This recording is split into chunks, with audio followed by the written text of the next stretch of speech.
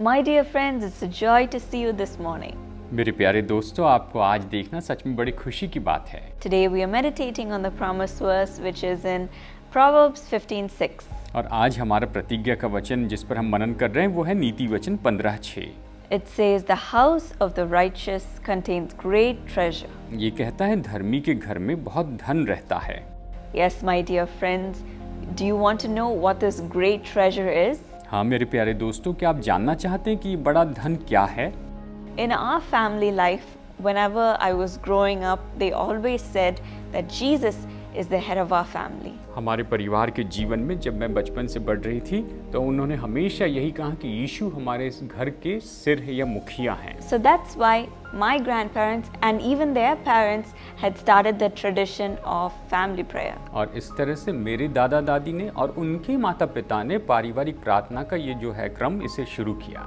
So we would all gather together to praise God through singing by reading the Bible and by praying और हम सब एक साथ जमा होते, गीत गाते, बाइबल पढ़ते और प्रार्थना करते थे। That is the time we would use to tell all of our problems in our individual lives और even what we are going through as a family और उस समय हम अपने व्यक्तिगत जीवन की या फिर पारिवारिक जीवन की जो भी समस्या वो बताते थे We might even have some misunderstandings with each other, and we would all discuss that. और शायद हम एक दूसरे के बारे में कुछ गलत फहमी रखे तो हम उस पर चर्चा करते थे And we would take it to the Lord in prayer. और प्रार्थना में उसे प्रभु के सामने रखते थे So even when we are fighting amongst each other, और हालाँकि हम एक दूसरे से लड़ते रहते थे even in that we would pray for each other. उसके साथ ही हम एक दूसरे के लिए प्रार्थना भी करते थे And when we would do that as a family, और जब हम परिवार के रूप में इसे करते हैं God would heal our hearts तो परमेश्वर हमारे हृदय को चंगाई देते हैं and give us great peace और हमें बड़ी शांति देते हैं and love for each other. और एक दूसरे के लिए प्रेम देते हैं We would also discuss about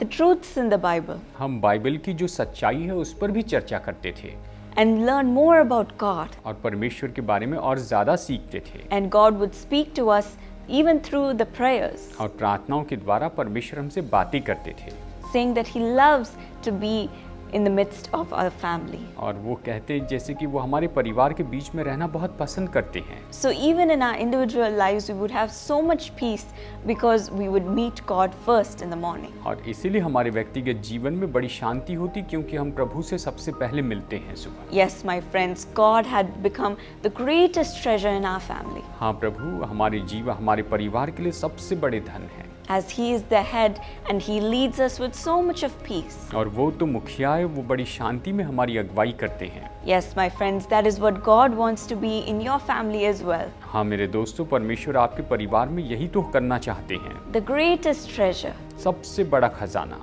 the giver of all good things. जो सारी अच्छी वस्तुओं का देने वाला है He will give you peace and happiness in your family. वो आपके परिवार में शांति और खुशी और आनंद देंगे Today, you may be saying that your family is full of so much of uh, destruction, so much of fight, so much of disturbance. आप शायद आज ये कह रहे होंगे कि मेरा परिवार तो इतना परेशानी से भरा है लड़ाई झगड़े हो रहे हैं but as you make Jesus the head of your family today लेकिन आज जैसे आप यीशु को अपने परिवार का मुखिया बनाते हैं there will be joy and peace in your family. आपके परिवार में आनंद और शांति होगी And He will lead your family so beautifully, being the head. और वो इस आपके परिवार का सिर बनकर या मुखिया बनकर आपके बहुत परिवार को बहुत सुंदर रीति से लेकर आगे बढ़ेगा Let's invite Him to be the head of our family today आइए आज उसे न्योता देते हैं कि वो हमारे परिवार का मुखिया हो जाए and have the greatest treasure in our house. और अपने घर में उस सबसे बड़े खजाने को हम रखें Lord Jesus, I pray for everyone watching this program. प्रभु यीशु इस प्रोग्राम को देखने वाले सभी लोगों के लिए मैं प्रार्थना करती हूँ। Today whenever they think of their family they may be saying that there is no peace there is only fighting fighting fighting आज जब भी अपने परिवार को देखते हैं तो शायद ये कह रहे होंगे कि मेरे परिवार में कोई शांति नहीं हमेशा लड़ाई झगड़ा होते रहता है। They may be going through so much of financial distress. शायद ये बहुत ही आर्थिक संकट में से होकर जा रहे हैं They may be going through so mon- much of misunderstandings. शायद ये बहुत ही गलत फहमी में से होकर जा रहे हैं They may not even be able to trust each other. ये शायद एक दूसरे पर भरोसा भी नहीं रख पा रहे हैं But Lord, I pray that today, as they make the decision to make you as the head of their family, प्रभु मेरी प्रार्थना है कि जैसे आज ये निर्णय लेते हैं कि आपको अपने परिवार का मुखिया बनाएं and only make decisions listening to your voice, और केवल, और निर्णय लेते हैं कि ये केवल आपकी आवाज़ सुनेंगे।